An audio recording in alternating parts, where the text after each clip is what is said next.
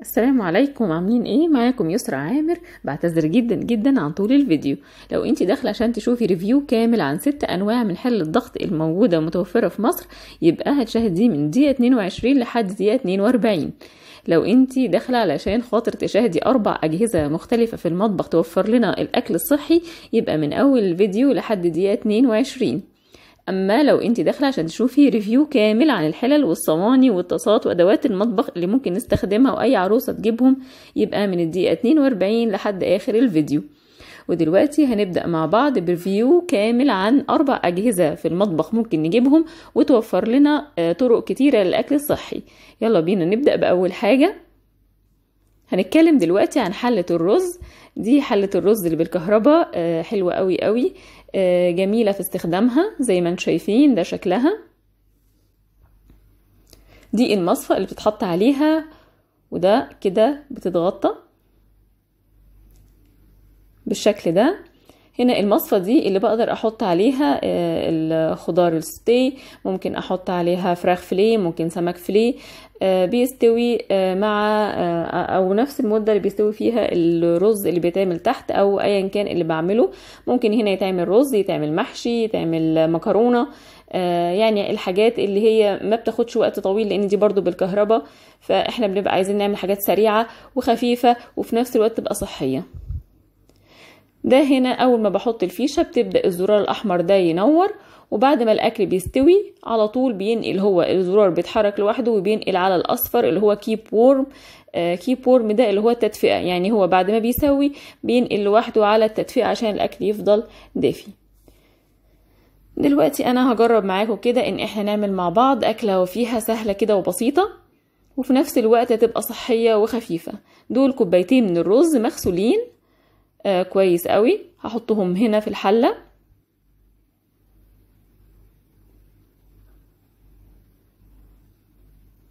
هنزل عليهم بقى آه بال بالشعرية بتاعتي. أنا الشعرية دايما ببقى محمراها يعني دايما مخلية عندي في الفريزر شعرية متحمرة عشان لو حصل واتزنقت مثلا أو محتاجة أخرج وعايزة أعمل الرز في الحلة فطبعا دي مش بنحمر فيها شعرية لأنها بتطول جدا.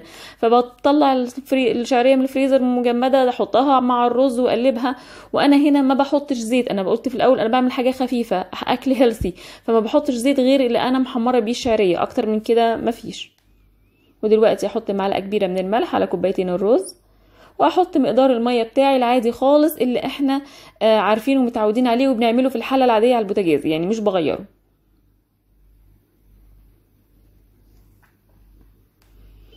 بالشكل ده مهم جدا على فكرة موضوع الشعرية المتحمرة ده بيوفر آه وقت كبير. عايزة أقول لكم إن آه زي ما هي بتعمل اكل healthy برضو هي مهمة في إنها بتوفر لنا الوقت بمعنى إيه؟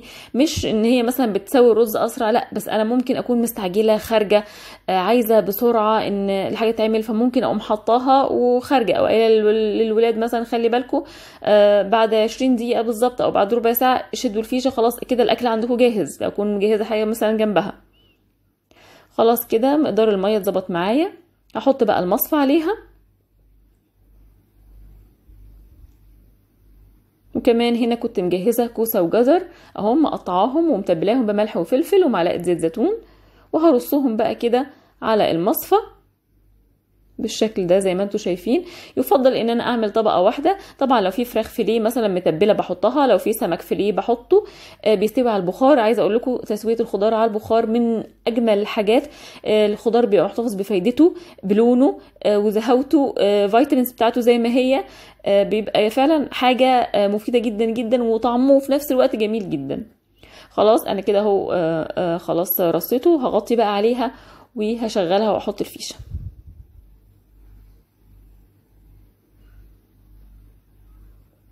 هنشوف دلوقتي أول ما شغلناها.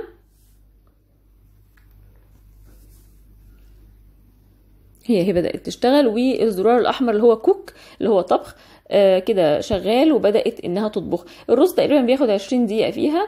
آه بعد عشرين دقيقة هيبقى الزرار اللي تحت اللي في النص ده هيترفع لفوق لوحده وهتنقل على الأصفر اللي هو keep warm لو فضلت في الحر في ال... في النار أهو زي ما أنتم شايفين هو كده العشرين دقيقة عدت ونقل على ال keep warm لو سبتها في الكهرباء قصدي هتفضل في الرز في حالة تدفئه على طول. لكن أنا بقى خلاص بعد ما سويت بشيل الكهرباء من من الفيشة بشيل الفيشة. بصوا بقى الكوسة طالعة مستوية يا دوبك هي بالظبط خدت 20 دقيقة كان الخضار استوى تماما.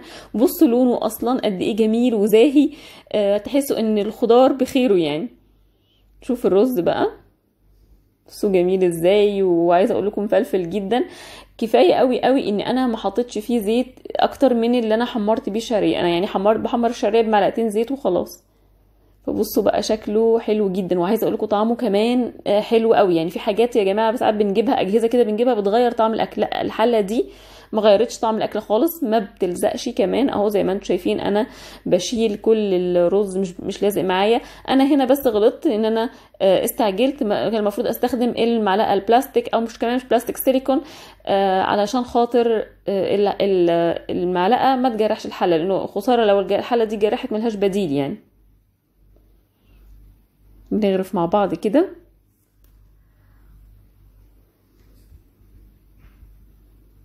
بصوا الرز شكله جميل مستوي و يعني آه، مفلفل كمان جميل جدا. والخضار بقى مش عايزه أقول لكم كان رهيب. بالشكل ده كده وزعه على الطبق. صحية جدا جدا مفيدة. آه، بحب جدا أعمل فيها السوتيه آه، وكمان البروكلي بقى بالذات. بيبقى جميل قوي. أصلا البروكلي أحسن حاجة فيه إن هو تستوي على البخار يعني. وكل الخضار بصراحة لو ينفع يعني ناكله كده على طول يبقى لطيف جدا. وجبة صحية خفيفة ومخدش مننا أي وقت. أهو بالشكل ده هنقدمه مع بعض. وننقل على الجهاز اللي بعده.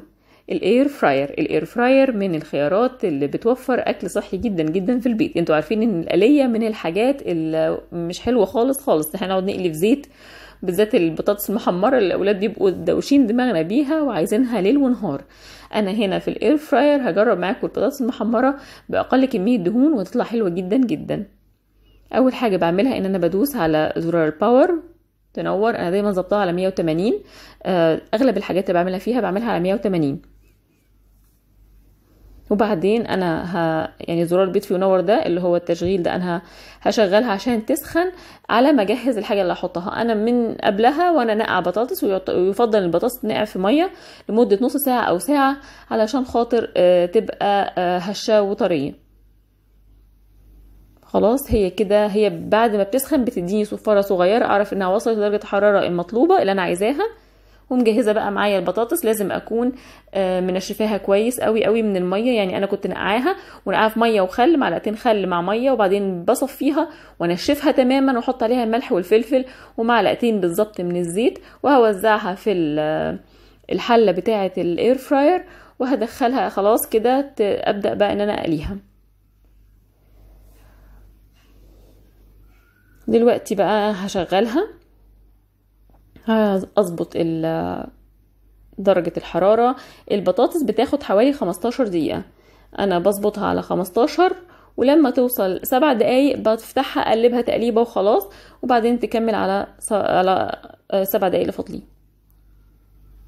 كده خلاص هي هتشتغل بقى مع نفسها ولما توصل سبع دقايق زي ما قلت لكم بقلبها تقليبة. أهو أوقف التشغيل بتاعها وأبدأ ان أنا اقلبها طبعا هو في اختيارات كتير غير ال air fryer دي أو النوع ده.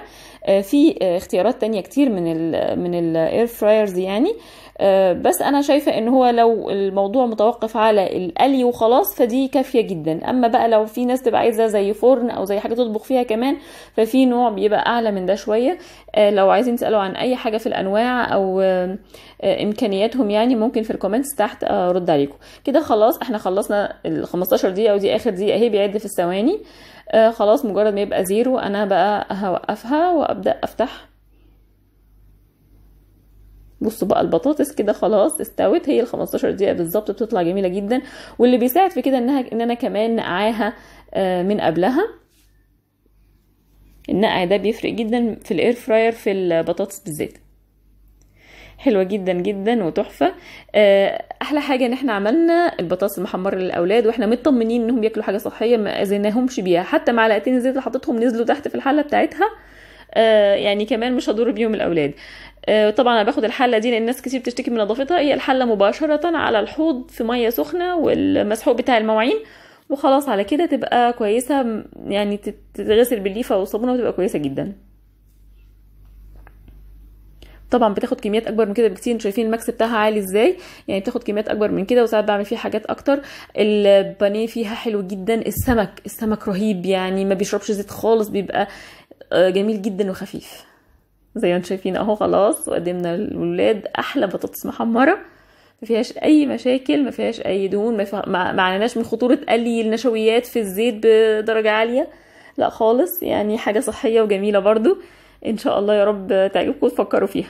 الحاجة الثالثه بقى معانا اللي هي عصارة الفواكه والخضار. آه، دي جميلة قوي قوي وبعمل منها عصاير حلوة كتير. النهارده كده هجربها معاكم لأن فيها تركية صغيرة كده يعني مش كل حد يبقى واخد باله منها والناس بتزهق منها وهي ممكن نظبطها بحاجة بسيطة. هشغلها دلوقتي. اوريكم الأول بنفتحها بنفتحها من العمود بتاعها ده بالشكل ده. طبعا في منها أنواع كتير وطرق كتير مختلفة بس هي مشتركين كلهم في حاجة واحدة بصراحة هقول لكم عليها دلوقتي. دي المصفى اللي هي بتفصل لي العصير عن الألياف بتاعة الخضار أو الفاكهة. والألياف بتنزل هنا بس ده زي الدور اللي بينزل فيه العصير.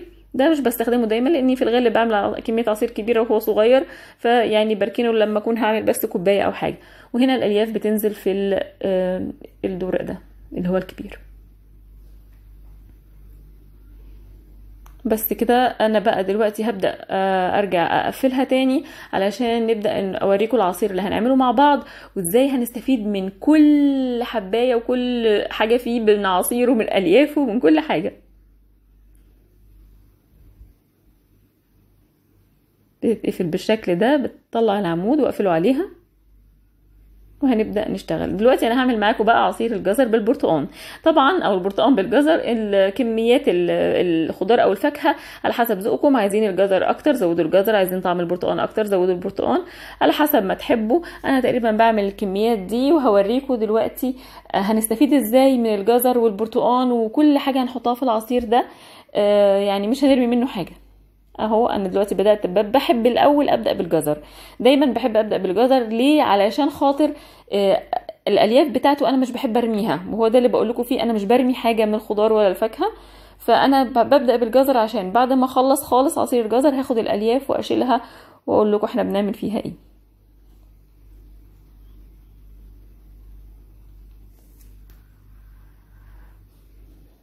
أهو الجزر أهو العصير طالع.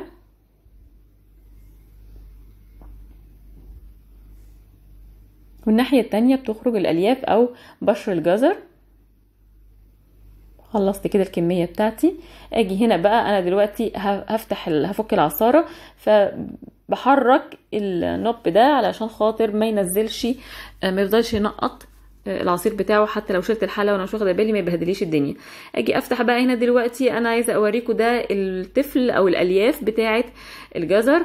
أنا بصراحة ما برميش الألياف في المرحلة دي خالص خالص.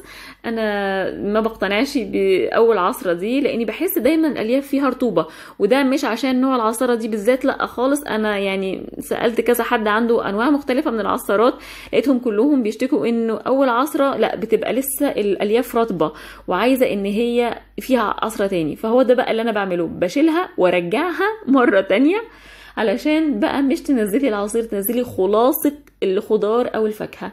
يعني حتى هتشوفوا دلوقتي وال- والجزر نازل آه، أو العصير بتاع الجزر نازل مش العصير الخفيف اللي كان بينزل في الأول لأ يعني حاجة كده تقيلة تحس إن هو خلاصة الخضار أو خلاصة الفاكهة يعني. أنا بصراحة ما بسيبش الألياف دي غير وهي ناشفة تماما. يعني هسيب فيها حاجة ليه؟ إحنا أولى. بصوا إحنا بننزل الخلاصة. دول بالنسبة لي أهم من كل اللي فات. كده بقى دلوقتي خلاص لو شفتوا ال powder اللي طالع بقى خلاص عامل يعني ال- الألياف بتاعت الجزر بقت عاملة زي ال powder بقت ناشفة مش ما فيهاش آه، رطوبة أو آه، سوائل أو أي حاجة خلاص كده بقت آه، تمام. هرميها لا طبعا مش هرميها خالص. إيه ده جزر يعني بيتا كاروتين وفيتامين A مش ممكن يترمي. ده أنا حاطاه كده في طبق وأقول لكم في آخر الفقرة دي هنعمل بيه إيه. طيب دلوقتي بقى نبدأ في البرتقال. طبعا أنا خلاص فضيت ال الدورق بتاع اللي هو بينزل فيه الألياف. هنزل بقى دلوقتي بالبرتقال على الجزر. أهو.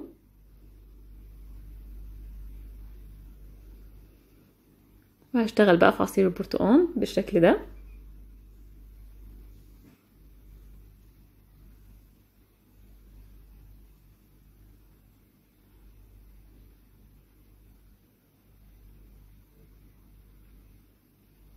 جميلة جدا جدا. العصارة دي حقيقي. آه يعني إحنا بعمل كميات كميات من الجزر والبرتقال ولاد بيحبوه جدا جدا. العصير ده بدل ما يشرب برتقال لوحده بيبقى كمية سكريات عالية على فكرة. البرتقال لوحده بيبقى كمية سكر كبيرة. إحنا بناخد السكر في البرتقال ونشيل الألياف. الألياف البرتقال ما بستخدمهاش يعني مش مش هدخلها في حاجة. فوجود الجزر مع البرتقال بي... بيعزز جدا من القيمة الغذائية بتاعت العصير ده. ما بيبقاش السكر في البرتقال بس. عايزة اوريكم بقى دي أول عصره للبرتقال بصوا الألياف بتاعت البرتقال اللي طالعة عايزة اوريكم كده كمية الرطوبة والسوائل اللي فيها. يعني أنا كده لسه ده عندي عصير كتير ممكن أعصره يعني مش هسيبها كده طبعا خالص. برضو باخد الألياف دي وبرضو أرجعها مرة تانية وآجي أعصر تاني. وكل العصارات كده أنا اكتشفت يعني دايما يقولوا لي لا ده عصارتي نوعها كذا بس برضو بحس إن الألياف بتاعتها طرية مش ناشفة. هنزل بقى الخلاصة زي ما قلنا اللي فاضلة في الفاكهة بتاعتي. وهوريكم برضو شكل الألياف بتاعت البرتقال بعد آه، ما بتطلع من العصرة التانية. ودايما بخلي العصرة التانية على واحد يعني العصرة الأولى على اتنين اللي هو العصر السريع العصرة الت- التانية اللي بعدها بتبقى خليها عصر بطيء يعني بالراحة يعني يبقى لها دواء بيها كده عشان تخلص كل اللي عندها. بصوا بقى الألياف دلوقتي نشفت غير المرة الأولانية خالص بقت ناشفة. خلاص دي بقى أنا مش محتاجاها خلاص دي مش هقدر أدخلها في حاجة لأنه في مرار من البذر بتاع البرتقال. ده العصير اللي طلع معايا هوريكم دلوقتي كميته عاملة إزاي. هو تقريبا عمل لي لتر ونص يعني ازازتين آه، يعملوا لتر ونص تقريبا من الكمية دي.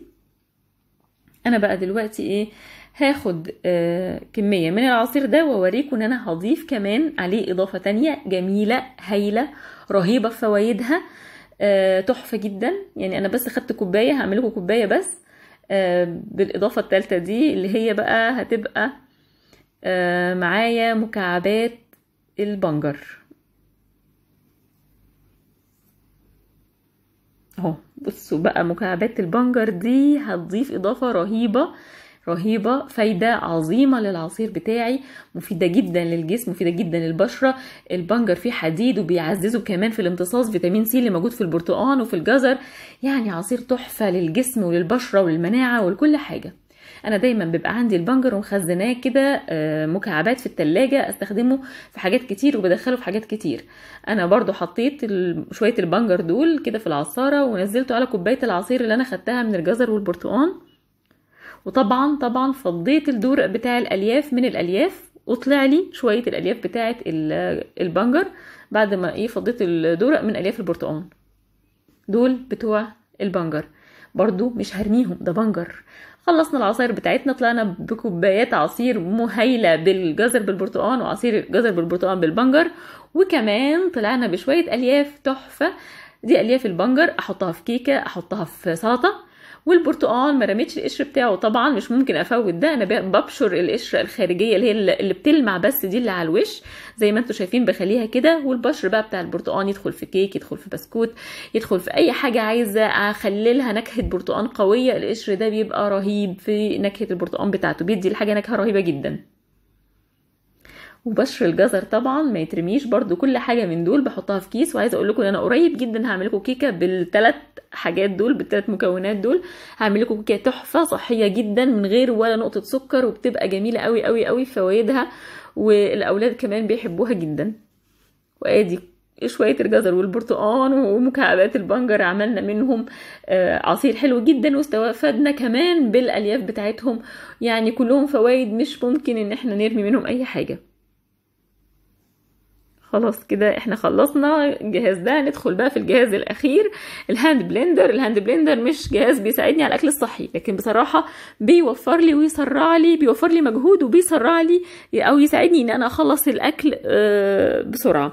موضوع إن هو يخلط لي الشوربات والعصاير والحاجات دي جميل جدا.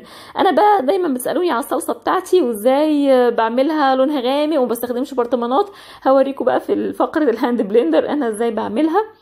علشان تطلع غامقة زي ما أنتوا بتشوفوها من غير برطمانات الصلصة وال مواد الحافظة. دي طماطم قطعها مكعبات وبرده مكعبات البنجر اللي في الفريزر. بطلع مع كل طبخة مثلا شوية طماطم مع شوية مكعبات بنجر وأحطها زي ما هي كده في حلة. وبعدين أجيب مية وأغمرها تماما بالمية وأوديها على النار. تغلي لحد ما البنجر والطماطم دول يطروا معايا خالص يبقوا يعني مكعبات كده طرية عشان أقدر أخلطهم بال hand blender الطماطم لوحدها ممكن أخلطها زي ما هي كده بس البنجر بيبقى مكعبات وناشفة إني مش مدياله سلقة قبل كده خالص. فبحب أديهم سلقة بس الاتنين مع بعض على النار زي ما أنتم شايفين كده بعد ما اتسلقوا بيبقوا بالشكل ده.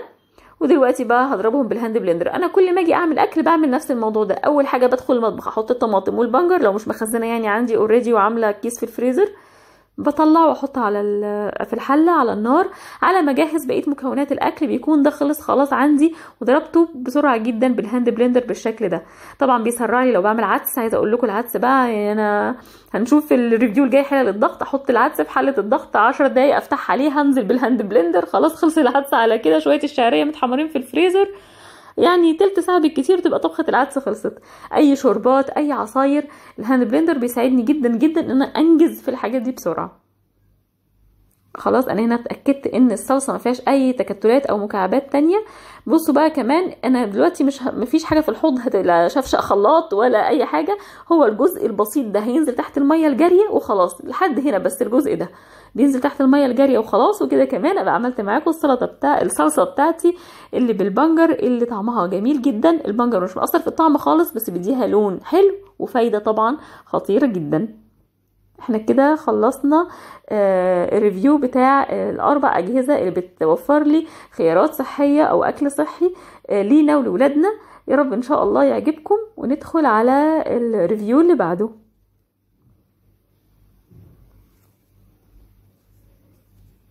ودلوقتي جينا للفقرة التانية في الفيديو بتاعنا اللي هي review كامل عن ست أنواع من حلل الضغط المختلفة. أكتر أنواع موجودة ومعروفة في مصر بيتسأل عنها كتير. بما إني متابعة ومهتمة بالموضوع ده فشفت أسئلة كتير للبنات وإن شاء الله أقدر أجاوب عليها كلها في الريفيو بتاع حلل الضغط ده. هنتكلم بالتفصيل عن وقت التسوية بتاع الأكل في الحلل وكمان كيفية استخدام كل واحدة فيها مميزاتها وعيوبها. زي ما أنتم شايفين دي كده هنا الخمس حلل بتوعي. والستة بقى أنا عملت review بتاعها في المحل نفسه لأن هي مش موجودة عندي. دي الحلة أكبر واحدة اللي هي 14 لتر دي أسباني آه وبعدها ال 12 لتر التركي ودي بنشوفها كتير على مواقع التواصل الاجتماعي وبتتعرض كتير اونلاين آه واللي بعدها دي الحلة الإيطالي 10 لتر دي بتاعت والدتي أنا واخداها منها. دي جاية من أربعين سنة من السعودية. بال ticket بتاعها هي عشرة لتر مكتوب عليها مية وتمانية ريال من أربعين سنة. يعني كان كانت تمن يعني كان مبلغ. دي البرتغالي التمانية لتر. واللي بعدها حبيبتي بقى الصغيرة آخر العنقود دي اللي هي ستة لتر المصري. جميلة جدا جدا وبحبها جدا. آه هنتكلم عنهم كلهم بالتفصيل إن شاء الله وعن استخدامهم. آه مميزاتهم وعيوبهم. آه ونبدأ مع بعض بأول حالتين فيهم. هنتكلم دلوقتي عن الحلة المصري الستة لتر والإيطالي العشر لتر. زي ما أنتوا شايفين ده شكلها أهو. الإيطالي يمكن موجودة في مصر بس قليل شوية لكن المصري طبعا متوفرة كتير جدا. أنا دايما في الفتح والقفل بتاع حل الضغط بصراحة بفضل اليدوي اللي هو بالدراع كده أو بمقبض من فوق بيتربط. ما بفضلش الكليبس قوي يعني تجربتي معاها ما كانتش لطيفة. حتى وأنا بعمل review في آخر الحلقة برضو ال review ما كانش يعني يعني كان برضو مقلق يعني بالنسبة لي يعني. آه هنشوف الحله دي كده زي ما أنتم شايفين. آه الاتنين بيتفتحوا بنفس الطريقة آه بالدراع ده. آه بن- بنطلع الدراع لفوق. بالشكل ده. أهي الغطا بيتقوس لجوه. بنيم الدراع خالص في عكس الاتجاه بتاعه وبطلع الغطا بال- بالجنب. معلش عشان أنا بصور بالإيد التانية فصعب عليا شوية لكن هي مش مش صعبة خالص يعني هي بتطلع بسهولة جدا. عشان أنا ماسكة بإيد واحدة. زي ما أنتم شايفين الحلة اهي دي قدامكم. هي ده ال style بتاعها إنها طويلة وغويطة. آم، دي اللي هي قلنا العشرة لتر.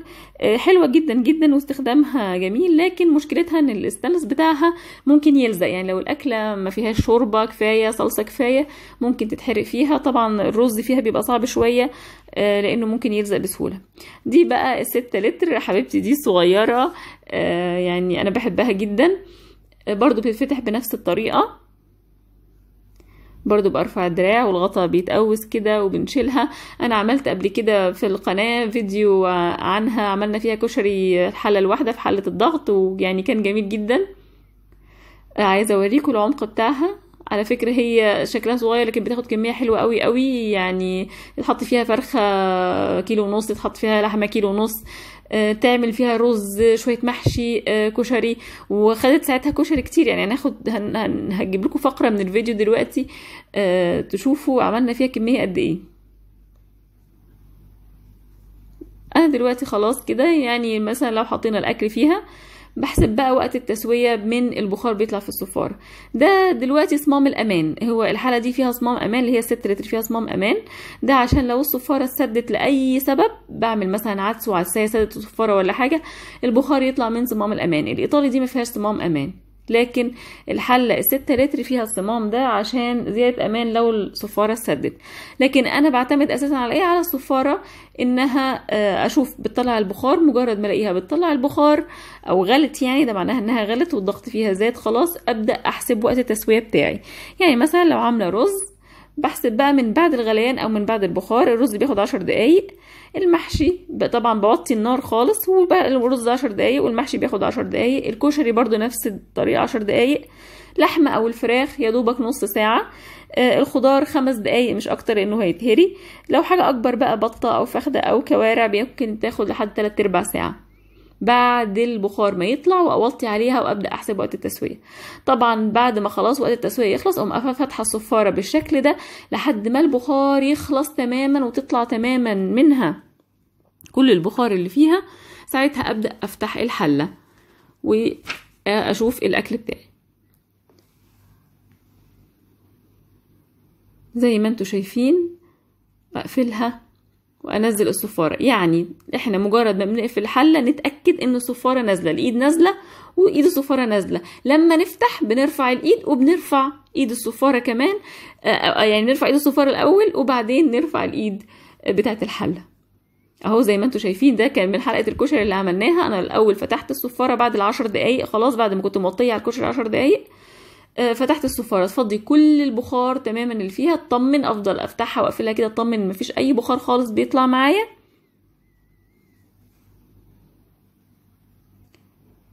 أهو بالشكل ده. وبعدين بقى أبدأ أفتح الحلة. خلاص اطمنت مفيش بخار خالص والضغط راح من الحلة. أبدأ أفتحها بالطريقة دي. بصوا بقى كنا عاملين ساعتها كشري كان تحفة تحفة جميل. آه، مفلفل جدا ريحته كانت جميلة قوي. عايزة أقول لكم إن طعم الأكل في حال الضغط حلو. يعني في ناس بتقول لأ طعم الأكل فيها مش حلو. لأ يا جماعة أنتوا يمكن مش عارفين تظبطوا الأكل فيها. يعني لو هنسلق لحمة أو فراخ مش لازم نزود المية جامد فالحاجة تبقى طعمها مش مركز. خلي بالكم إن هي مش بتاخد وقت طويل. فهي بتاخد وقت قصير في السوى ومش بتهري الأكل مش بتطلع كل العصارة بقى اللي فيه وكل الخلاصة اللي فيه. فده كفاية عليهم شوية سوائل صغيرة كفاية شوية ميه صغيرة هتلاقي الطعم فيها حلو ومتركز. آه، بصوا الكشري جميل جدا جدا يعني كان تحفة. أنا أنا في رأيي إن الكشري في حالة الضغط بيطلع أطعم من اللي إحنا بنعمله آه، في العادي. بصوا بقى الكمية دي من الحلة الستة لتر على فكرة ستة لتر اللي هي ال- الصغيرة أصغر حجم. ده كده تلتين الكمية اللي عملناها. يعني في تلت تاني كفة حوالي 12 فرد أو يعني إحنا ست أفراد كنا أكلنا الكشري ده على يومين. فلا كان كمية كبيرة جدا في الحلة دي. ودي تعتبر أرخص حلة ضغط تقريبا موجودة في مصر. بصوا الكشري مفلفل جدا ريحته وطعمه كان تحفة جدا. هبقى أسيب لكم ال link بتاع الوصفة في صندوق الوصف تحت الفيديو أو في آخر كمان الفيديو هسيب لكم ال link بتاعه. عملنا الكشري وقدمناه كمان بالشكل ده وكان جميل جدا. ودلوقتي ننقل على حلتين تانيين نتكلم عنهم. هنتكلم دلوقتي على الأسباني ال 14 لتر والبرتغالي ال 8 لتر. زي ما أنتم شايفين ال 14 لتر دي يعني تنفع جدا جدا في العزومات جميلة جدا في العزومات. لو عايز أعمل كمية أكل كبيرة أو لحوم كمية بتاخد كمية كويسة جدا لكن الأكل عادي وكميات صغيرة مش بتبقى لطيفة فيها خالص. دي بقى التمانية لتر برضو حلوة جدا بقى الاستخدام اليومي زي الست لتر كده. آه الاتنين بيتفتحوا بنفس الطريقة المقبض بتاعهم بيتلف. آه برضو ما افتحهمش غير لما اتأكد ان البخار خرج تماما من الصفارة. برفع الصفارة لفوق تخرج كل البخار اللي فيها واطمن انها خلاص ما فيهاش اي بخار ابدأ افتح بالشكل ده. اهو زي ما أنتم شايفين عمقها قد إيه. دي قطع الغيار اللي بتيجي معاها دي ده الجوان ده قطع غيار الجوان ومقبضين. هي ما بيجيش معاها غير جوان ومقبضين. بس لكن للأسف هي دي فيها عيب إنها ما بيجيش معاها صفارة آه زيادة. ده دي المصفى اللي ممكن تعمل عليها سوتيه بس أنا بصراحة ما بستخدمهاش كتير لأن أنا زي ما وريتكم في الفقرة الأولانية إن أنا عندي حاجة ممكن تعملي سوتيه. بصوا بقى عمقها كبير جدا جدا. دي بقى يعني عشان كده بقول لكم تنفع للعزومات أنا جبتها في الأول فاكراها ممكن أستخدمها للاستخدام بتاعي لو بعمل أكل على يومين أو كده بس لقيت لأ يعني استخدامها صعب شوية. عميقة جدا تاخد بطة كاملة تاخد فخدة خروف وبطة سليمة مش مش متقطعة. عايزة أقول لكم إنها يعني لازم يتحط فيها حاجة تستحمل استوى يعني تستحمل درجة الحرارة وتستحمل استوى لأنها على ما تملى كل المساحة دي تغلي وتملى كل المساحة دي بخار والبخار ده يتضغط كمان ويطلع من الحلة ده بياخد وقت. يعني دي مشكلة انه بياخد وقت فلازم ما ينفعش أحط فيها خضار. يعني لو حطيت فيها خضار على ما تملى المساحة دي كلها وتضغط الخضار ده يكون اتهرى لأن كل دي فتره غليان. فعشان كده دايما نحط فيها حاجة تتحمل السوى وتكون حاجات يعني كمية مش حاجات صغيرة. عشان كده بقول لكم دي أكتر حاجة تنفع إنها تبقى للعزومات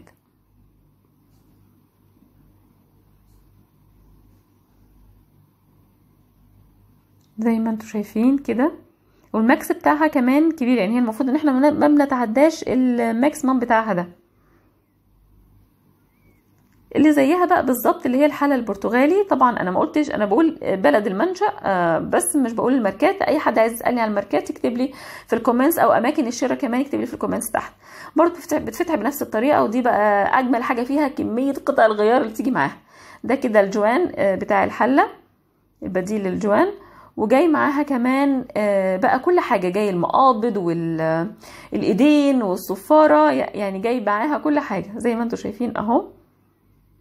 دول الايدين بتوعها بالمسامير وده بقى المقبض بتاعها وده أهم حاجة جاية بصراحة مع الحله دي لأن هو أضعف حاجة في الحله البرتغالي هو المقبض اللي بنفتح بيه من فوق. لأنه إحنا لما بنلفها جامد جامد مع الضغط لو قرطنا عليها قوي يعني مع الضغط بنيجي نفتح المقبض ده مش بيتفتح بيغلب جدا جدا على بيتفتح وكذا مرة كان هيتقطم مني. فأنا يعني لما شفت ال ال ال الغطا ده أو المقبض ده يعني قلت كويس إن هما جايبينه ان حاسس إن هو ضعيف شوية. وكمان جاي معاها الصفارة والصمام. يعني كل قطع الغيار بتيجي مع الحاله البرتغالي دي ودي بصراحة ميزة كويسة قوي قوي فيها. وزي ما أنتم شايفين إحنا هنا خلاص عملنا الريفيو ده بتاعهم. آه برضو أنا زي ما بقول ما مش مش بفتح على الحلة غير لما أفضي خالص البخار اللي فيهم. دلوقتي بقى عندي review تاني عن الحلة التركي ال 12 لتر. دي بتبقى موجودة كتير جدا على صفحات التواصل الاجتماعي الفيسبوك ناس كتير بتبيعها اونلاين على سوق dot com بتتباع بس خلي بالكم إنها أسعارها متفاوتة جدا. يعني في كذا مصدر بيبيعها وأسعارها متفاوتة جدا بس كلها هي واحد مش فارقة يعني هي كلها واحد. ودي بتتفتح بنفس طريقة الحلة المصري والإيطالي بالدراع برضو بس فيها حاجة مختلفة عنهم. بصوا ده عمقها برضو حلوة قوي قوي آه دي ممكن تاخد تقريبا آه 3 كوبايات مثلا رز بسمتي عملت فيها قبل كده. آه مرتاحة يعني حجمها مرتاح جدا. تاخد 3 كيلو لحمة فراخ وأكتر كمان. بياخد كمية خضار كويسة قوي قوي اللي زيها بقى في حاجة ب... يعني مشتركة ما بينها وما بين البرتغالي اللي هي 8 لتر اللي أنا لسه متكلمة عنها دلوقتي اللي هو المسمار الأحمر اللي موجود ده. ده الاتنين مشتركين في نفس ال في الحلة يعني هو فيهم نفس المسمار ده ده يعتبر صمام تالت. ده هنا هنا الحلة دي وأنا بقفلها لازم أراعي إني أنا أسيب مسافة للمسمار ده يطلع. المسمار ده وظيفته إن هو أول ما البخار يبدأ يملى الحلة ويضغط بيرفع المسمار ده لفوق. اهو بنفس الطريقة اهو المسمار ده موجود هنا. مجرد ما البخار بيزيد اول حاجة بيعملها انه يزق المسمار ده وبيطلع من الفتحة بتاعة الحلة. وهنا المفروض ابقى سايباله مكان يطلع منه. وأنا وأنا بقفل الغطا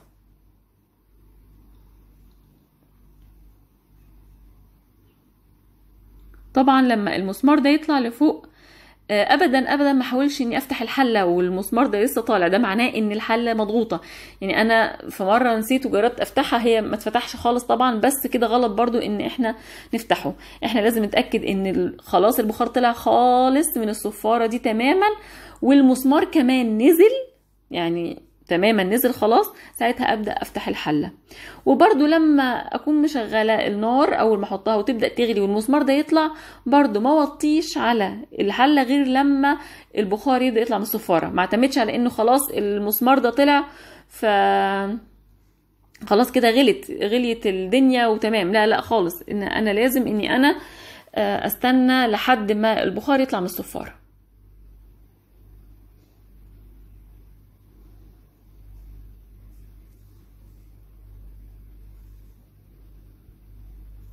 بالشكل ده.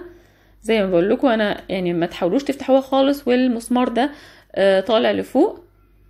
وما نوطيش عليها النار غير لما البخار يطلع من الصفارة حتى لو المسمار ده طالع لأن إحنا لو وطينا أول ما المسمار ده يطلع لفوق الغط الضغط اللي فيها هيقل والمسمار هينزل تاني وأكنها حلة عادية بالظبط.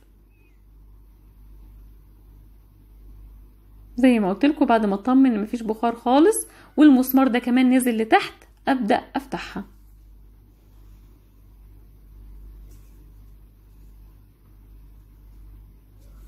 بالشكل ده. أنا هنا آه عملت في حلة الضغط اللي هي ال 8 لتر. آه عملت كان محشي كوسة وبتنجان وزي ما وريتكم كده أهو. أنا هنا ما بحطش فيها سوائل كتير أو شوربة كتير يا دوبك أنا بحط مقدار يغطي لي نص أو تلات أرباع المحشية يعني حتى أقل من نص المحشية. يعني مش بستنى لحد النص وبغطي عليها بالشكل ده. أنا بس حبيت أوريكم طريقة الاستخدام. بغطي عليها بالشكل ده وأقفلها زي ما أنتم شايفين. دايما قلت لكم لازم أسيب مسافة للمسمار يطلع منها. طبعا أكون قافلاها كويس بس عاملة حسابي إن المسمار ما يخبطش في الغطا ده. لما بقى الصفارة تبدأ تطلع البخار وتلف ساعتها هبدأ اوطي أهو زي ما أنتم شايفين المسمار طالع بس أنا استنيت لحد ما البخار يطلع من الصفارة. ساعتها بقى أنا هوطي خالص عليها هنقلها على عين صغيرة أوطي وأستنى بالظبط عشر دقايق. أي حاجة فيها رز مش أكتر من عشر دقايق. خلاص أنا بقى بس دلوقتي هخرج خالص البخار منها هرفع الصفاره كده خفيف وخرج البخار تماما. مش هفتح الحلة غير لما أطمن. البخار خرج خالص خالص والمسمار اللي كان طالع لفوق نزل ده معناها إن الحلة خلاص الضغط اللي فيها راح تماما. هي مطلع بتطلع البخار بتاعها لسه بس هو مش باين عشان خاطر أنا فتحت الصفارة. أهو زي ما أنتم شايفين. بالشكل ده عشر دقايق بالظبط على المحشي كان استوى تماما. هوريهولكوا دلوقتي والشوربه زي ما هي طبعا لأنه مفيش تبخير فالسوائل بتحتفظ زي ما هي فيها. فعشان كده بقول لكم حطوا كمية مية قليلة. يعني أنا هنا كمان زودتها شوية يعني. بصوا بقى المحشي مستوي إزاي. البتنجان اتهرى خالص الرز استوى آه جميل جدا. بيبقى طعم الحاجة فعلا مركز بيبقى جميل جدا فيها. وقدمته بالشكل ده. إن شاء الله الحلقة دي هبقى أنزلها قريب. أنا بس اخترت لكم المقطع ده عشان تشوفوا المحشي بيتعمل إزاي أو تطبيق على حلة الضغط اللي هي البرتغالي. دي بقى الكليبسو ده أنا رحت المحل مخصوص لأنها مش عندي فقلت له أنا عايزة أشوف الحلة دي. دي اللي كانت في العرض. بصوا دي مشكلتي مع الكليبسو بصراحة. إن كذا حد قال لي إنها مع الاستخدام بتفوت أو بتنعم وما بتبقاش محكمة الغلق. فبصوا أنا رحت ويعني بالصدفة والله البحتة لقيتها فيها نفس المشكلة. حتى سألت الراجل طب هي ليه بتعمل كده؟ قال لي علشان دي بس في العرض. فحتى ساعتها قلت له طب ما هي كده مشكلة ما هو مع استخدامي ليها ممكن تسب يعني تبقى بنفس الشكل ده. أنا هو هنا فتحتها وحبيت أوريكم الحاجات اللي بتبقى معاها. دي جاي معاها الكتالوج بتاع التشغيل. بيجي بقى معاها بصراحة ده اللي عجبني قوي الكتيب بتاع الوصفات ده مليان كمية وصفات رهيبة. أنا كان هين عليا أقول له راجل هات واصوره يعني مليان وصفات جميلة جدا جدا اللي هي ممكن تتعمل في الحلة. أنا حبيت أفتحها واوريهولكم بس هي ما فيهاش معاها تقريبا قطع غيار غير دي. الكتاب الوصفات والكتالوج. يعني أنا ما شفتش فيها أو ما أعرفش فيها حاجة تانية شايلينها ولا بس آه هم دول الحاجات اللي طلعت في معايا في الحلة والمصفى برضو اللي بتبقى موجودة في أغلب الحلل. الستة لتر المصري والإيطالي هما اللي مش معاهم قطع غيار خالص وال12 لتر التركي برضو اللي هما بيتفتحوا الدراع اللي فوق ده ده ما كانش معاهم أي قطع غيار. بصوا بقفل نفس المشكلة مش بتقفل تماما. يعني دايما وأنا بشتري الحلال بتاعتي كانوا بيخوفوني من النقطة دي فجيت أعمل الريفيو ده هنا عنها لقيت نفس المشكلة. الصفارة بتاعتها بتبقى آه ل... بنحركها لبرة تقريبا أو لجوه آه بتخرج البخار بتاعها. ودي برامج للطبخ للطبخ اللي هي ما متصورة عليها دي حاجة للفراخ حاجة للخضار بتبقى موجودة في الكتالوج بتاعها اللي جوه.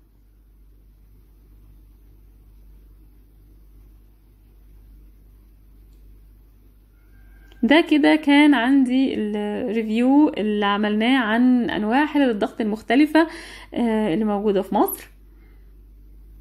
ودي كانت آخر حلة معايا اللي هي الحلة الكلابسو. آه زي ما أنتم شايفين الشرح بتاعنا كنت بسأل الراجل عن الحاجات دي كلها. حتى أنا قلت له يجيب لي حلة تانية عشان أجرب القفل والفتح بتاعها لأني أنا مش مقتنعة خالص إنه تبقى كده يعني.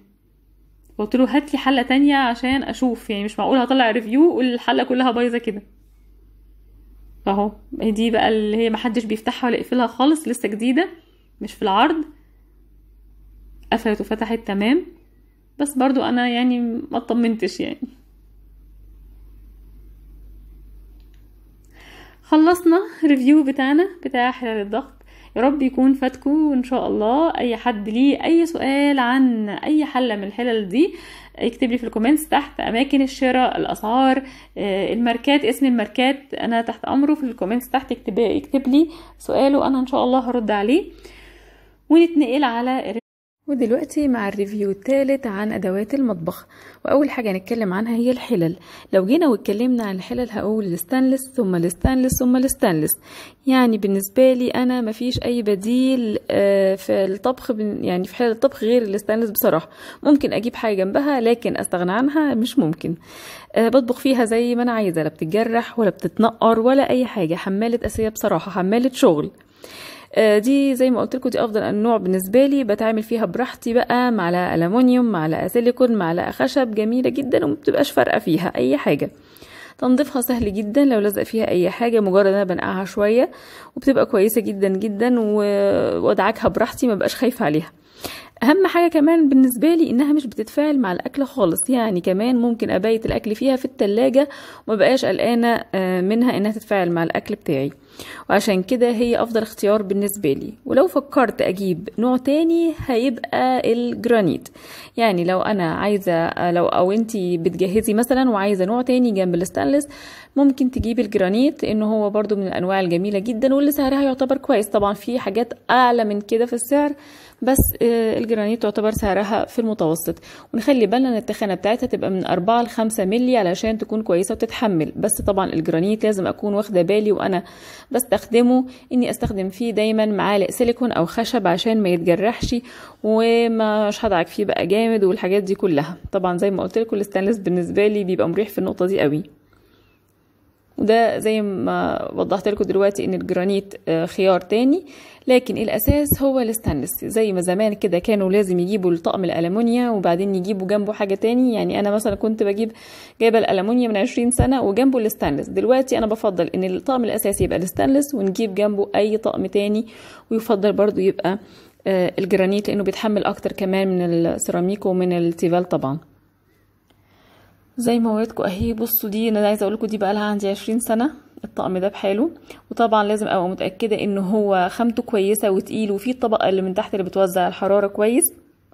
دايما الستانلس اللي كويس اللي هو 18 على 10 آه عايزة اوريكم ال بصوا يا رب- تبقى باينة ده مكتوب عليها إن هو آه، ستانلس ستيل آه، 18 على 10 مش عارفة هتبقى واضحة ولا لأ طبعا هي آه، كوري دي كوري made in Korea بس ده من زمان بصراحة من 20 سنة كان الستانلس لسه قليل قوي قوي في السوق. فده كان كوريا كان أفضل أنواع. لكن دلوقتي بصراحة في أنواع كتير حلوة والمصري كمان نازل آه، حلال كويسة قوي قوي آه، عايزة أقول لكم حاجة كمان بالنسبة للتسوية هي آه، ناس كتير بتقول إنها بتشيط آه، بتحرق الأكل أو الأكل بيلزق فيها. لأ خالص أنا معايا الحلة دي زي ما قلت لكم بقى لها 20 سنة لا شيطت مني الأكل ولا حرقته ولا آه، لزق فيها. آه، أهم حاجة إن إحنا نظبط درجة آه، الحرارة ونعرف نسوي فيها الأكل إزاي. يعني نعود نفسنا عليها أحسن ما نجيب حاجة تانية تتقشر. دلوقتي بقى نقول مع بعض الصواني ندخل في الصواني. الصواني برضو بالنسبة لي أحلى حاجة في الصواني هي البايركس. البايركس هو أفضل بالنسبة لي استخدام من أي حاجة تاني. وطبعا زي البايركس كمان هو الأركوبال أو الأركوبايركس من الحاجات اللي كويسة جدا جدا وبقدر أستخدمها. زي ما أنتم شايفين الطقم ده كده معايا. آه، ده كنت جايباه كده على بعضه. آه، في في في ال sale كان سعره تحفة جدا جدا. والحلة دي كمان بس أنا يعني هي حلة بس أنا مش بستخدم خالص البايركس على النار بخاف إن هو يطرقع مثلا أو يفرقع فيه أو يتكسر فأنا خالص مش بستخدم البايركس على النار. آه، دايما بستخدمه في الفرن يعني حلة زي دي ممكن أعمل فيها طاجن في الفرن والصواني دي كمان آه بستخدمها على طول. آه من ضمن الحاجات المهمة اللي أحب لكم تعرفوها إن البايركس ال- الحلو هما ثلاث أنواع. آه ده أفضل نوع فيهم اللي أنا ماسكاه ده أفضل نوع فيهم يا رب يكون باين.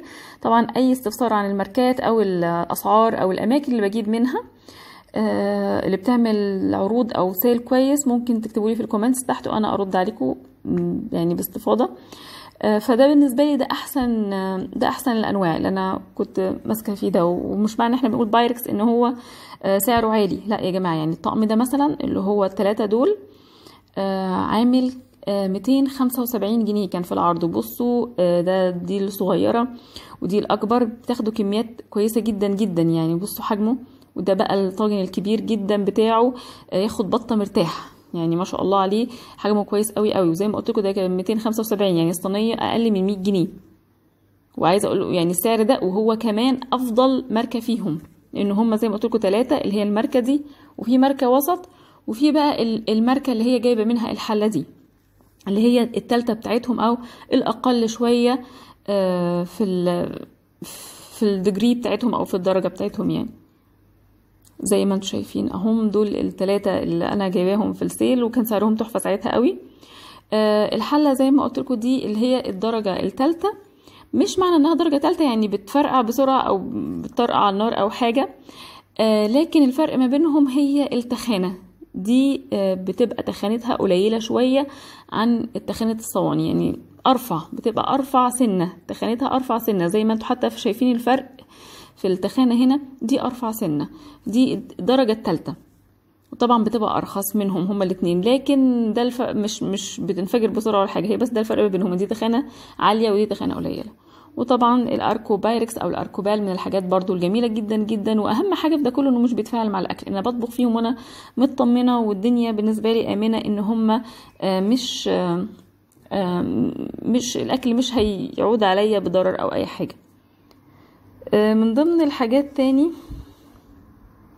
اللي إحنا هنتكلم عليها دلوقتي أو الصواني برضو الكويسة أو الطواجن بقى اللي هي الفخارات الفخار الأبيض والفخار البني من الحاجات برضو الجميلة قوي قوي. آه بتبقى استخدامها صحي برضو في نفس الوقت بس طبعا الفخار البني آه إحنا بنجيبه مط وإحنا اللي بن بنحرقه في الفرن علشان خاطر آه نغطي الطبقة دي. يعني ما يفضلش إن إحنا نجيبه بالطبقة اللي بتلمع بتاعته. برضو دول بالنسبة لي خيارات كويسة جدا جدا للطهي فيهم في الفرن بالنسبة للصواني. برضو الفخار الأبيض من الحاجات اللي الطهي فيها جميل قوي. وبرضو تخزين الأكل فيها بيبقى صحي. يعني يعني أنا من ضمن الحاجات اللي بستخدمها فيها إن أنا ممكن أخزن فيها الأكل وهنشوف كمان شوية خيارات تانية كمان لتخزين الأكل في التلاجة قصدي أو أبيت الأكل يعني في التلاجة. فدي كمان أهي زي ما أنتم شايفين الطواجن الأبيض والفخار من الحاجات الكويسة جدا جدا. في في الطبخ أو في الفرن.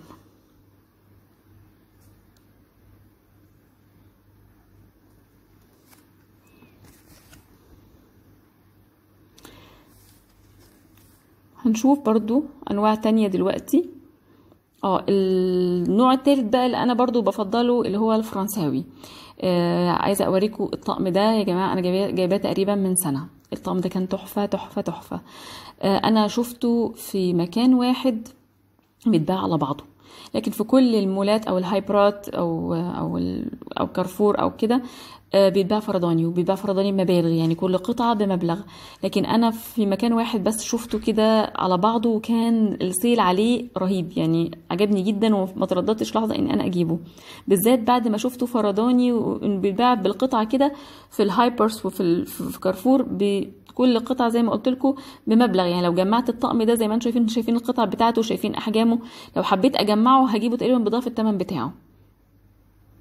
ده كان في سنتر في العبور ساعتها آه وأنا كنت في مكان تاني خالص ولما شفت يعني كانوا بيوزعوا ورقه ورقة فيها عروض كده لما شفته آه يعني ما ترددتش إن أنا أجيبه يعني فكرت كده يوم وتاني يوم لقيته بقى بيتباع بالقطعة وسعره عالي فرحت جبته على طول ده كان آه بألف جنيه وهو 12 قطعة والصواني بتاعته جميلة جميلة جميلة وهوريكم لسه كمان هو طقمين طقم اللي هو السيركل ده أو اللي هو المدور وطقم اوفل آه البيضاوي.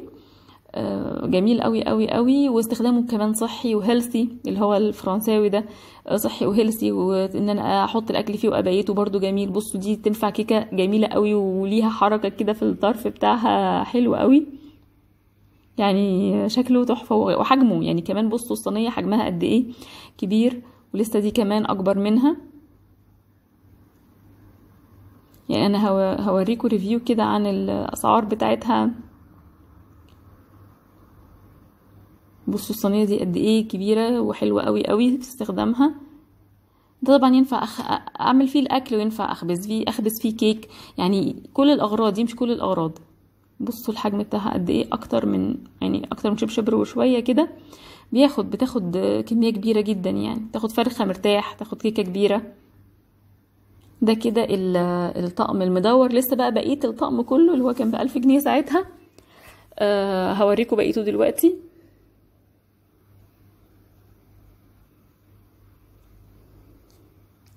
هم دول القطع واحد اتنين تلاتة أربعة تلاتة أربعة خمسة. ده غير السلطانيتين الصغيرين أو الاتنين بولا الصغيرين اللي كانوا منفصلين لوحدهم. اللي هم دول. دول كانوا cadeau يعني اللي هو ال ال الاربع هم كانوا أربعة أربع بولات هم دول الاتنين تانيين بتوعهم. والقالب المدور الكبير بتاع الكيك دول كانوا cadeau كمان على الصواني المدورة وال oval دي. دول اهم الاتنين ال جميل جدا جدا. جماعة ويدخلوا الفرن. حتى الصغيرين دول طبعا بيدخلوا الفرن. يعني ممكن نعمل فيهم رز بلبن. بصوا بقى شكل ال oval بتاعه جميل جميل. شبه القارب كده. وحجمه حجمه كمان كبير قوي. ما تستغربوش إن أحط الحاجات في كرتونتها. أنا من النوع اللي بجيب حاجة بتعجبني بحب أحافظ عليها قوي. يعني بستخدمها واغسلها وانشفها وارجعها زي ما هي تاني في كرتونتها. يعني من النوع اللي أنا بحب أخلي الحاجة زي ما هي أكني جايباها أول مرة. أي حد يجي عندي أو أقدم فيها أي حاجة لأي حد يحس إن هي لسه جديدة يعني. فأنا دايما بحتفظ بالحاجة بكرتونتها. يعني حلل الضغط اللي أنا وريتها لكم في أول الفيديو لحد دلوقتي عندي بالكراتين بتاعتهم. أستخدمهم وأغسلهم وانشفهم وأرجعهم في الكراتين تاني. بصوا دي حجمها قد إيه قد إيه كبير. يعني دي تاخد فرخة 2 كيلو مرتاح تاخد 2 كيلو لحمة تعمل فيها طاجن تاخد فيها أي حاجة حلوة. بصوا كمان عمقها لا الطقم فعلا كان جميل جدا جدا. وبرده زي ما قلنا ده من الحاجات اللي استخدامها صحي وجميلة اللي هي الطواجن الفرنساوي دي. طبعا اللي عايز عن السنتر هو السنتر ده بينزل العرض ده كذا مرة. يعني أنا بعد ما شفتهم بيتباعوا بالقطعة في ال hypers والكارفور والمولات وكده كنت بتابعه على طول لقيت إن هم بينزلوا كل فترة بينزلوا عرض على الطقم كله على بعضه بنفس السعر اللي هو ألف جنيه. أهو ارجعوا معاكم بقى دول كده الثلاث قطع اللي هم البيضاوي. وحاطة هنا أنا هنا حاطة معاهم البولتين أنا استغنيت عن الكرتونة الثالثه وهنا حطيت البولتين ودي بقى الطقم المدور كده إحنا حطينا تلاتة أربعة خمسة ودي القطعة الستة اللي هي المدورة الكبيرة.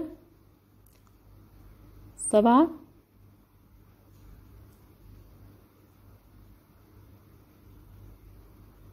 ودي التامنة الطاجن التامن.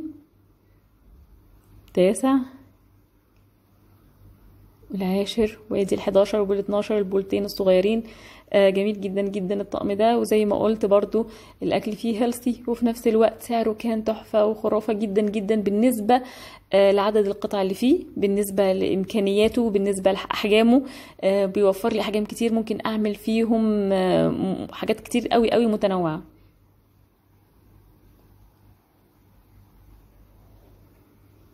طبعا أنا معاكم في ال comments لو أي حد عايز يسأل عن المكان أو الأسعار أو ماركات تانية مفيش أي مشكلة خالص. أنا معاكم هرد عليكم في أي حاجة.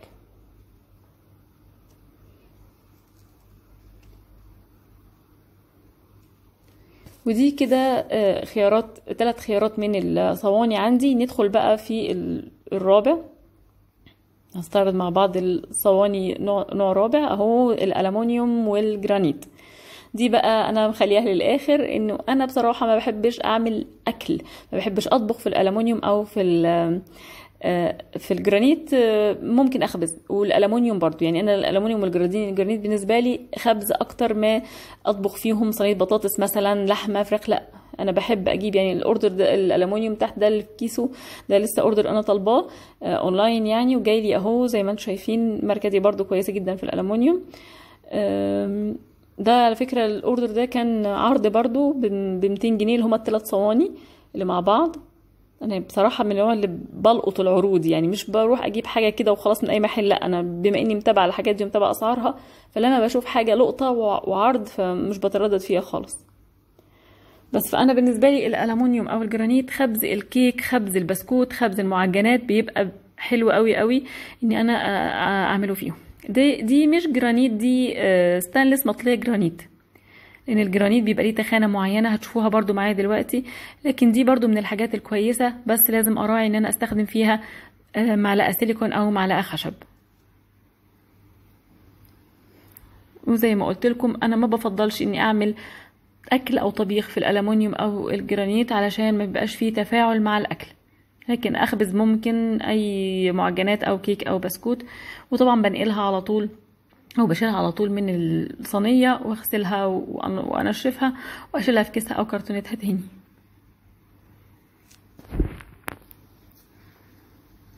لكن أنا لو هتكلم عن الطبخ زي ما قلت لكم كل اللي فات ده كان اختيار بالنسبة لي مناسب جدا جدا للفرن يعني أو للطواجن والطبخ والحاجات دي كلها.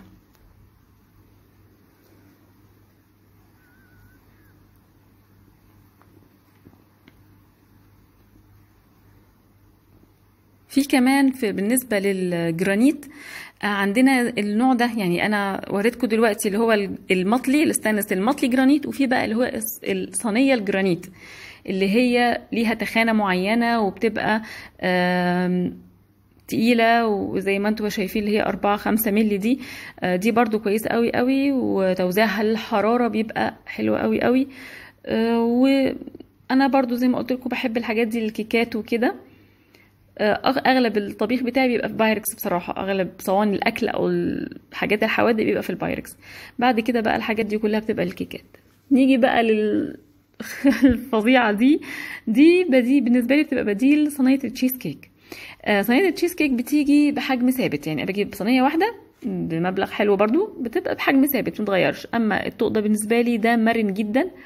أعمل الحجم اللي أنا عايزاه. مجرد إن أحطها جوه صينية أكبر منها وأصغر خالص بقى أعملها حجم صغير مقاس 20 مقاس 24 أو ممكن إن أنا أكبر خالص أعملها مقاس 30 فدي بتديني أريحية كويس قوي قوي في إن أنا أعمل الحجم اللي أنا عايزاه. مش لازم أروح أجيب في كل مرة عايزه أعمل فيها حجم معين أروح أجيب صينية على قد المقاس ده. لا خالص دي بتديني مساحة إن أنا أعمل أي مقاس أنا عايزاه. فبالنسبة لي عملية جدا جدا أكتر من صواني التشيز كيك العادية.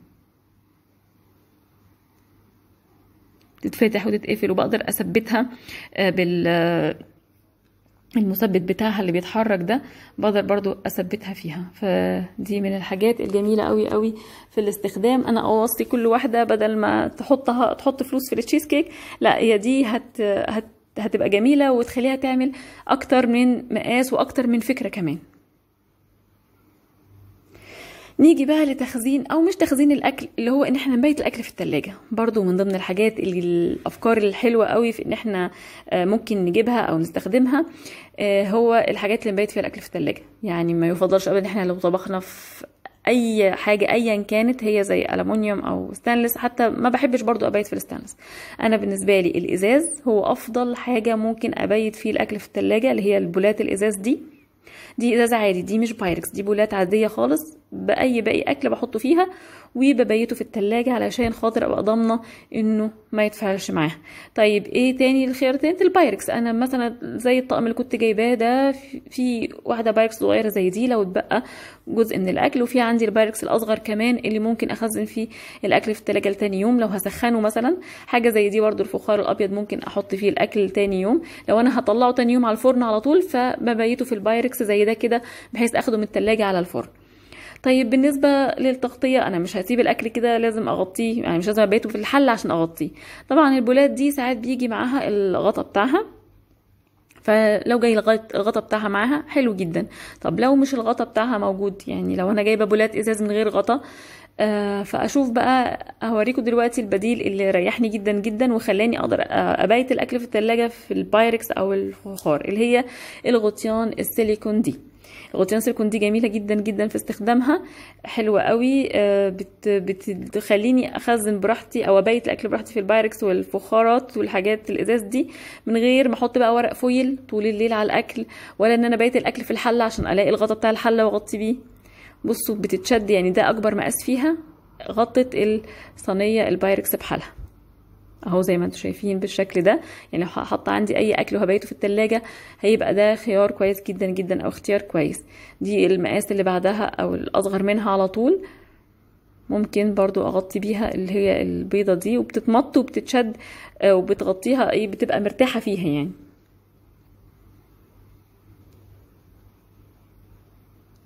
هوريها لكم دلوقتي. اهي زي ما أنتم شايفين برضو كده إحنا غطينا آه، ده. فانا برضو بنصح قوي قوي بالغطيان السيليكون دي لو هحطها ممكن في لحد برطمان يعني في واحدة ممكن تغطي برطمان صغير لو فتحتي علبة وغطاها خلاص اللي هو الصفيح لازم يترمي ده آه، ممكن نغطيها بحاجة زي دي. يعني في لحد أغطي كوباية كوباية لبن ممكن أغطيها بالغطيان السيليكون دي فدي ريحتني برضو جدا من ضمن الأفكار اللي حبيت أوصلها لكم وإن هي وسعرها مش غالي خالص على فكرة. هي بتوفر عليا أصلا تمن حاجات تانية كتير. ودي كانت فكرة ال- البولات التخزين أو مش تخزين اللي هو إن إحنا نبيت فيها الأكل تاني يوم في التلاجة. يا إما البولات الإزاز يا إما البايركس يا إما الفخارات. دي كلها بتبقى جميلة جدا.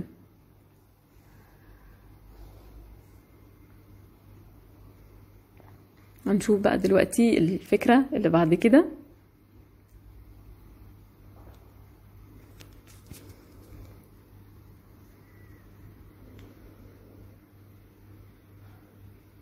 آه الطاسات الطاسات من الحاجات اللي مهمة جدا جدا برضو في المطبخ.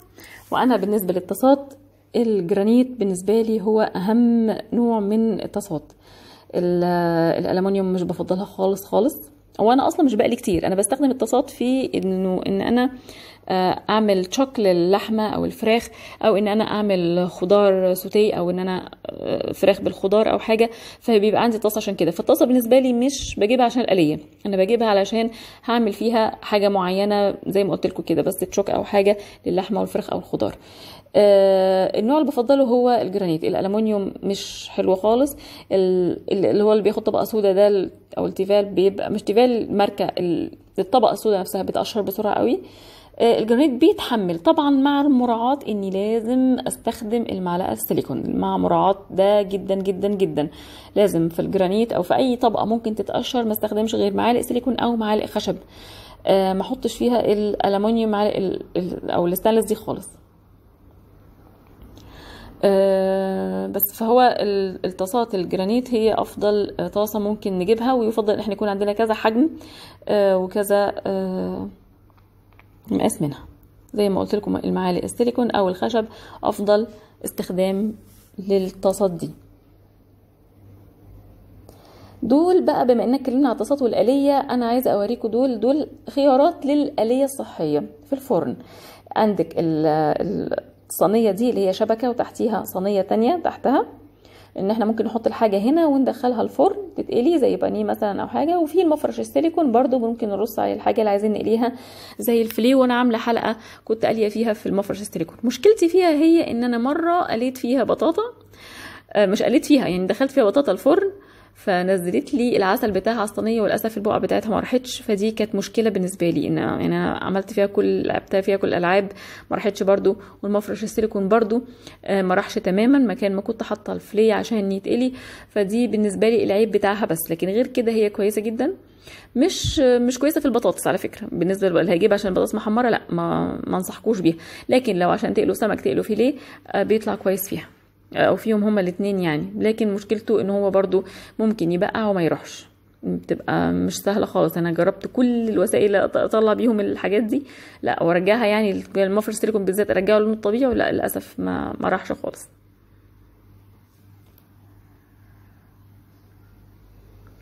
عندنا بقى دلوقتي الجريل. ندخل على الجريل ونتكلم فيه. آه أنا عندي الجريل اللي هو ال double grill زي ما أنتم شايفين ده اللي هو الإيطالي. آه ده ديسيني الأصلي. تعرفوا إن هو أصلي منين؟ من إن هو بيبقى محفور عليه made in Italy على ايد الإيد بتاعته. وفي برضو اللي هي الجريلا اللي بتبقى منفصلة لوحدها. دي أهي الدبل. بتبقى معاها الكاوتشة بتاعتها الحمرة دي. وهي أهي زي ما أنتم شايفين. وفي بقى الجريلا اللي لوحدها دي. أنتوا لو قلتوا لي أفضل إيه أقول لكم أفضل الجريلا لوحدها. معذرة لكل الناس اللي بتحب الدبل. لكن أنا بالنسبة لي بفضل الجريلا لوحدها. ليه؟ أقول أقول لكم ليه. أول حاجة الجريلا ال double دي أقل سعر فيها تقريبا 500 جنيه من 400 ل 500 جنيه وأنتوا طالعين بقى لحد آلافات مؤلفة يعني. في حين إن هي بتعمل نفس دور الجريلا اللي هي لوحدها يعني الجريلا لوحدها المنفصلة هنا بدي shock للحمة أو الفراخ أو أي حاجة وهنا بدي shock ليها لكن آه اللي هي لوحدها بقدر بعد ما اديها shock بغطيها تماما بالورق ال foil بإحكام جدا جدا. أدخلها الفرن على طول بتديني تسوية ووقت سريع جدا كمان لحمة الفراخ دي نفس الطريقة بديها تشوك واغطيها بالشكل ده. طب إيه الفرق بقى؟ برضو بتديني وقت تسوية بس أنا بالنسبة لي الفرن كمان أسرع. لما أغطيها كويس قوي قوي الفراخ واللحمة بتستوي أسرع. طيب إيه بقى الفرق؟ الفرق إن دي ب 500 جنيه أو أكتر ودي ممكن تجيبها ب 150 جنيه. يعني أنا ممكن أجيب بتمن الكبيرة اللي هي الدبل اتنين أو ثلاثة من الصغيرة. فهو ده اللي أنا حسيته. أنا جبتها ما آه، حسيتش إن أنا آه، يعني استخدامها فارق كتير عندي. بالعكس أنا برتاح في ال- ال- اللي هي الفرداني لوحدها دي أكتر من الدبل. حاجة تانية من العيوب اللي ما عجبتنيش في الدبل جريل إن هي الريحة بتلزق فيها. يعني بمعنى لو عملت فيها حاجة معينة بحس إن الريحه بتلزق فيها كتير. أنا مرة عملت فيها جمبري فضل لازق فيها بتاع أسبوع. الريحة لازقة فيها الريحة لازقة فيها أسبوع. أهويها زي ما هويها دعكتها بليمون. فضلت أدعكها بليمون الناحيتين. برضو فضلت الريحة فيها زي ما هي. تنظيفها آه، مش سهل قوي. الحاجة بتلزق فيها. ولو السوائل اللي موجودة في الأكل نشفت على طول تشيطها مكان عين البوتاجاز. يعني مكان النار تحتها كده النار على طول تقوم لاسعه الأكل. فلازم أبقى مراعية دايما إني أوطي النار أو أزود السوائل علشان خاطر ما تلسعليش الأكل من تحت. فدي عيب برضو فيها. زي ما قلت لكم أنا دي بديها تشوك وأقوم قافله عليها كويس جدا وادخلها الفرن. فبتريح لدماغي من إنها ممكن الأكل يتلسع فيها أو حاجة. أو حتى مش لازم أدخلها هي شخصيا الفرن. أنا ممكن أدي shock للحاجة هنا وأقوم نقلها في صينية سخنة وأقفلها بال foil وأدخلها الفرن. فدي برضو آه، فيها النقطة دي أحسن. فزي ما قلت لكم العيوب اللي أنا شايفاها في ال double grill إنها غالية قوي في حين أنا ممكن أجيب بنفس الثمن 2 3 من الجريل لوحده. الريحة بتلزق فيها ودي حاجة ضايقتني. وعملتها قلت لكم بليمون كتير. آه وتالت حاجة إنها آه ممكن تلسع الأكل. لو مثلا شايفين إحنا ممكن نقلبها على النار دي حاجة كويسة. لا هي للأسف بتنزل كل السوائل بتاعتها. لما بنيجي نقلبها بتنزل السوائل اللي في الأكل من الفتحات دي وبتبهدل البوتاجاز ودي حاجة بقى اللي هي أبشع ما يمكن. يعني لو في بقى زيوت ودهون ونزلت على البوتاجاز مجرد إن إحنا جربنا نقلب فدي برضو حاجة من الحاجات اللي بتبقى رخمة جدا جدا. فإحنا بستخدمها زي ما هي ما بقلبش خالص الجريل بفتح عليها وأقلب الأكل وخلاص على كده. ودي كانت فكرتي أو رأيي عن الجريلات. هنتكلم دلوقتي عن التوابل طقم التوابل. آه، اللي هو التوابل الدوار. ده برضو من ضمن الحاجات اللي أنا بفضلها. في ناس كتير بتركنها أو مش بتحبها أو بتقول إنها بتلم آه، دهون أو زيوت. طب هي لو بتلم دهون أو زيوت إحنا ممكن نبعدها خالص يعني ممكن نحطها في مكان بعيد علشان خاطر آه، ما تلمش دهون أو زيوت. لكن هي عملية جدا جدا جدا. اولا هي دي مثلا فيها بتاع 16 تابل 16 برطمان بحط فيها 16 تابل. آه لما هم لي كلهم في حتة مكان صغير جدا آه مش بقى برطمانات برطمانات جنب بعض وعمالة أرص أرص. يعني أنا مثلا واحدة عندي 32 تابل. يعني عندي اتنين من دي مثلا يعني عندي آه، آه، طقمين توابل من دول. لو أنا عشان أنا بستخدم توابل كتير لو أنا عايزة 32 برطمان هجيب لهم مكان منين؟ يعني هجيب لهم مكان منين في المطبخ أحط فيه كل البرطمانات دي. فدي. يعني حلت لي المشكلة دي مشكلة إن آه، إن يبقى فيه توابل كتير وعايزة برطمانات كتير وعايزة مكان كبير. فدي بالنسبة لي كانت اختيار لطيف جدا. ال stand. الأستاذ ال stand ده بقى مشهور جدا ومعروف جدا وإن إحنا ممكن نحطه ده اللي هو بيبقى جرار كده ما بين التلاجة مثلا والرخامة ما بين البوتاجاز والرخامة و... يعني ده مشهور. بس أنا بصراحة عشان ما كانش عندي أماكن على الأرض إن أحط فيه حاجة فاستخدمته الاستخدام ده وريحني جدا جدا في إن هو لملي كل البرطمانات اللي عندي. يعني أنا حطيته فوق الرخامة خدت بس منه طبقتين وحطيته فوق الرخامة ولميت فيه كل البرطمانات بقى اللي كانت عاملة لي قلق. ممكن أحط فيه الزيت الخل السكر القهوة الشاي كل البرطمانات اللي عندنا اللي بتبقى عاملة لنا قلق على الرخامة أو في المطبخ. بالشكل ده هو لملي الدنيا كلها في حتة صغننة وفي جنب وخلاص كده أنا خلصت من آه، أزمة البرطمانات. فدي فكرة برضو حبيت أقولها لكم للي عنده أزمة برطمانات زي ممكن يستخدمها. بتبقى بالشكل ده بيبقى شكلها كمان لذيذ قوي قوي في المطبخ.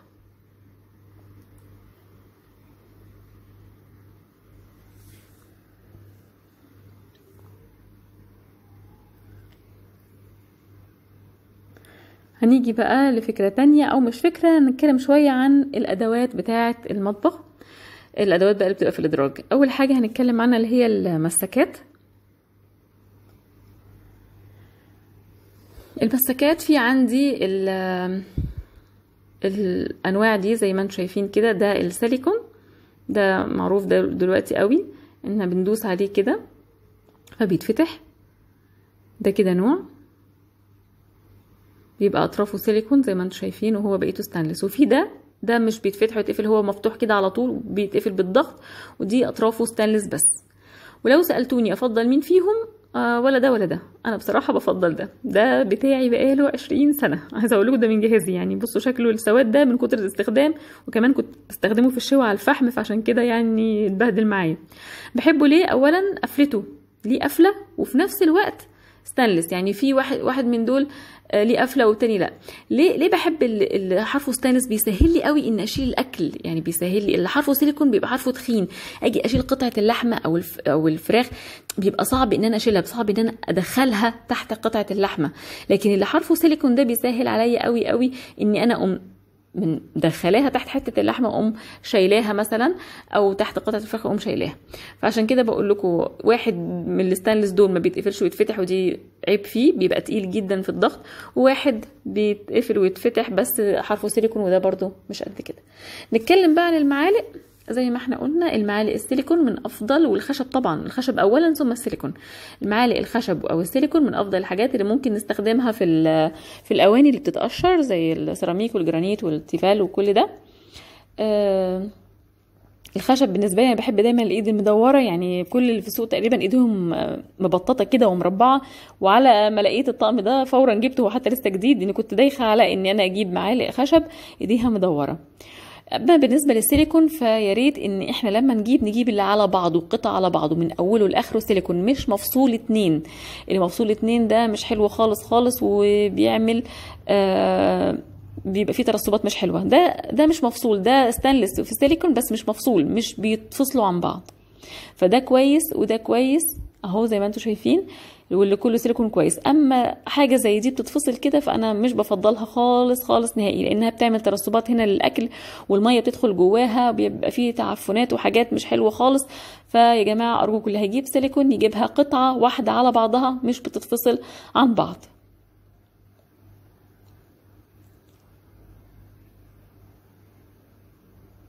بالشكل ده. بالنسبة للمضارب يفضل دايما إن أنا يكون عندي المضرب الستانلس ومضرب السيليكون. أنا هنا مختارة المضرب الستانلس الصغير بتاعي والمضرب السيليكون الكبير. أنا عندي الستانلس الكبير والصغير والسيليكون الكبير الصغير. ليه؟ الصغير مهم في إن أنا لو أنا بعمل شوية كاسترد صغيرين أو شوية حاجة صغيرة أعرف أقلب بالمضرب الصغير. والكبير مهم عشان لو بعمل كمية كبيرة بشاميل أو حاجة فالكبير مهم. وجود السيليكون والستانلس مهمين ليه؟ علشان نوع الحلة اللي بستخدمها.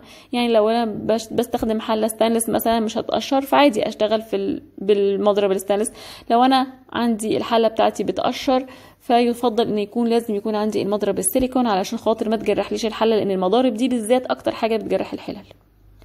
آخر حاجة بقى اللي هي الفرش وزي ما قلت لكم يفضل إن أنا أجيب الفرشة اللي على بعضها. الفرشة دي من أولها من أول شراشبها لحد آخرها قطعة واحدة على بعضها سيليكون ما بتتفصلش.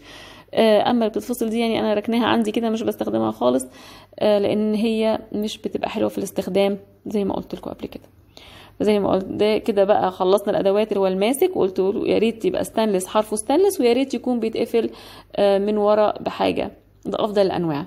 بالنسبة للمعالق خشب أو سيليكون والسيليكون لازم يكون قطعة واحدة. المضارب بتبقى ستانلس أو سيليكون والفرش برضو تبقى قطعة على بعضها. ما بتتقفل مش بتتفك عن بعضها. ده بالنسبة كده لأدوات المطبخ أو بتبقى في درج المطبخ. آه السكاكين. نتكلم شوية عن السكاكين. دي أول حاجة ومهمة برضو جدا للناس اللي عندها صواني بتقشر أو ممكن تتجرح السكينة الخشب. آه كويسة جدا جدا وبتقطع يا جماعة وحلوة. آه فوجودها من الحاجات الأساسية علشان خاطر ما نجرحش الصواني بتاعتنا. آه فدي أنا أنصح بيها بيها إنكم تجيبوها. طب إيه نوع السكاكين التاني اللي هو زي ده؟ مشرشر بس شرشرة خفيفة جدا. مش مش اللي هو شرشرة تخينة. هنا هحاول اوريه لكم أو اوضحه لكم بالشكل ده.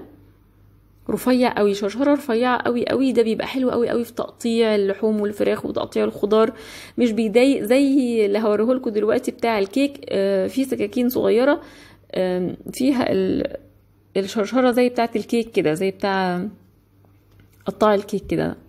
لا دي ما تستحسنش إنها تستخدم في اللحوم لأنها بتقطع نسيج اللحوم والفراخ. يعني في سكينة زي كده لا ما نجيبهاش. دي بخ... دي كده ده مخصوص للكيك بس عشان أقسمها من النص أو حاجة آه بيستخدم في الكيك والمخبوزات. لكن غير كده يفضل في الأكل العادي اللي هو السكينة اللي مشرشرة رفيعة دي.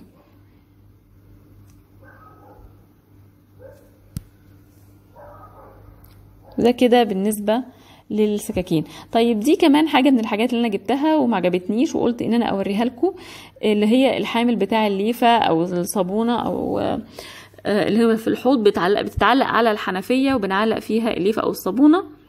آه أنا جبت دي ولقيتها بتوسع لكن البديل ليها دي أحسن منها بكتير اللي هي بتبقى متماسكة بالشكل ده. بنحط فيها بقى الليفة أو الصابونة مش بتوسع زي التانية التانية دي بتوسع وبتبقى كده مرنة لكن دي متماسكة جدا وبتبقى نتيجة يعني كويسة ومش بتتبهدل زي دي كده. هي صحيح أكبر شوية يعني أو أو مش هي أكبر واغلس شوية بس أحسن ما أجيب التانية اللي هي أرخص وهتبوظ مني على طول. المصافي المصفى أو معاها كمان اللي هو مانع الطرطشة. دي من الحاجات المهمة قوي قوي إن لو بنات بتجهز تجيبها بيساعد جدا إن إحنا ما نبهدلش البوتاجاز بتاعنا مجرد ما أحط حاجة على النار وتعمل بقى وتبهدل الدنيا. لا أنا بحط ده بيمنع لي جزء كبير جدا جدا من الطرطشة اللي بتحصل على البوتاجاز. في منه الأصلي يعني أنا جبت جايبة منه اتنين واحد ب 20 جنيه وواحد ب 80 جنيه. أنا جبتهم عشان عايزة أعرف إيه يعني الفرق يعني ده أصلي ده مش أصلي. آه مفيش فرق. الاتنين زي بعض بالظبط والاتنين مستحملين نفس الشغل وكل حاجة. يفضل إن أجيب اللي قطرها كبير مش اللي قطرها صغير لأن اللي قطرها كبير ممكن أغطي بيها طاسة صغيرة وطاسة كبيرة لكن قطرها صغير هتبقى استخدامها محدد جدا. وفي منها كمان الستانلس الفاتح. يعني ده الغامق. في الستانلس الفاتح برضو الستانلس الفاتح مش بيستحمل كتير أو آآ بيبوظ بسرعة. دي هرسة البطاطس برضو من ضمن الحاجات الجميلة جدا. دي مميزة شوية في شكلها. التانية اللي معمولة زي شبكة من تحت دي مش حلوة خالص وبتصدي بسرعة لكن دي كويسة قوي قوي وخامتها برضو كويسة. نيجي بقى للمصافي. عايزة أقول لكم بقى المصافي أنا استخد... يعني يعني دوبت كتير مدوبة مصافي كتير. يعني بصوا دول الاثنين دول مش يعني دول مركونين كانوا مركونين عندي بس طلعتهم علشان خاطر أوريكم. آه بيبوظوا بسرعة وبيتكسروا إيديهم بتفك بسرعة. دي كان ليها إيدين برضو واتكسرت واتفكت ودي كان ليها إيدين واتكسرت وفكت يعني ركناهم بس لو لو ممكن أصفي لحمة أو لحوم أو فراخ بصفيها فيهم لأن أنا ما بحبش لحوم الفراخ النية أستخدم فيها كل حاجات المطبخ ببقى مخصصة لها حاجات معينة عشان البكتيريا اللي بتبقى في الحاجات دي وهي نية قبل ما تستوي طبعا. فأنا ببقى يعني مركناهم كده لو هصفي فيهم لحوم أو فراخ. أما المصفى اللي قعدت معايا فترة بصراحة اللي هو النوع ده النوع ده بيبقى ما شاء الله قوي جدا وبيتحمل وإيديه بصوا اللحام بتاعه قوي مش مش ضعيف زي الاتنين التانيين. في العصاير بحبه لأنه الفتحات بتاعته واسعة مش بتم يعني بتدخ بتنزل لي جزء من الألياف في العصير والفايدة بتاعتها بتبقى أعلى. فأنا بفضل جدا جدا المصافي دي هي نازلة من قريب بس هي أحسن كتير وبتتحمل أكتر بكتير قوي من المصافي التانية. واتكلمنا عن منع الطرطشه وده من الحاجات برضو المهمة قوي قوي.